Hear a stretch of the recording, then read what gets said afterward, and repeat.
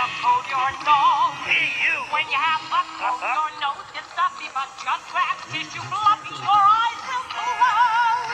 And you'll blow your nose. When something smells good, you can take a whiff for it.